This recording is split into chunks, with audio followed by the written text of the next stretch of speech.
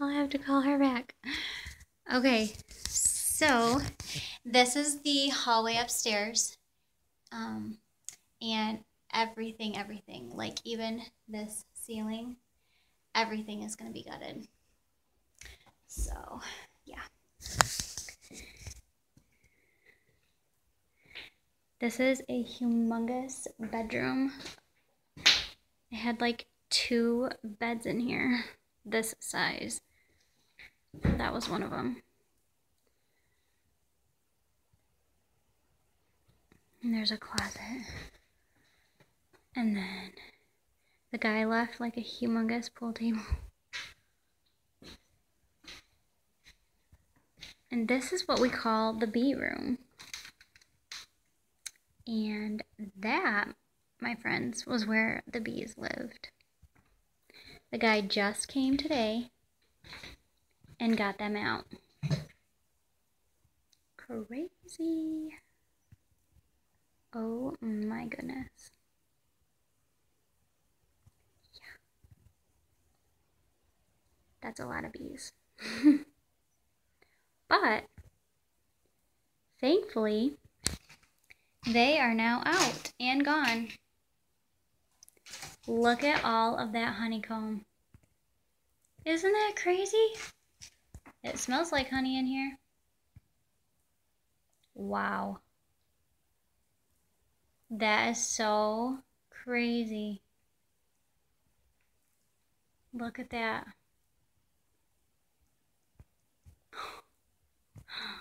Wow.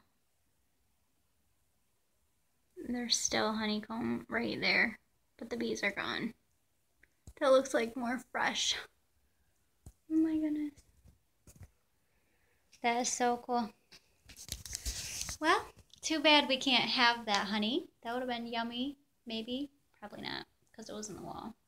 I wouldn't have eaten that. All right, so on our way through the hallway. And this side doesn't have any electricity, so it's probably going to be a little bit dark. This is the first bedroom. There's a door to the left and a door to the right. This whole room is getting gutted as well. Everything upstairs is going to be gutted. They had like an old chimney there, maybe.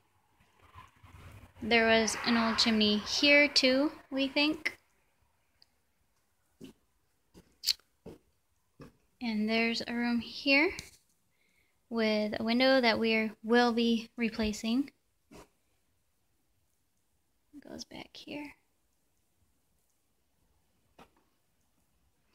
And then we walk into another room here from this bedroom. This had a ton of um, pine board in it that we took out this window and then just threw it out the window. And then we put it down cellar to maybe use someday on a small animal barn that we would like to build. So this is the other room. And as you can see here, we think that they had like a staircase because down in the woodworking shop, there's a hole too. And it's solid. You can step on it and whatever. But yeah, we think that they must have had like a staircase from down in that room up here and then closed it off. So, however, we're to make it whatever. Um, however we want. So yeah, this is outside. This right here, as you can see, used to be all cedar trees with stumps left there now. And Gary Beller is going to come and he's going to like take care of all that for us. Remove the stumps and stuff. So, right over in this area is where we would like to have a barn someday, we think, or like down the area. So, yeah, that's it. That, ladies and gentlemen, is our upstairs. And so now we're to I'm gonna go downstairs with you.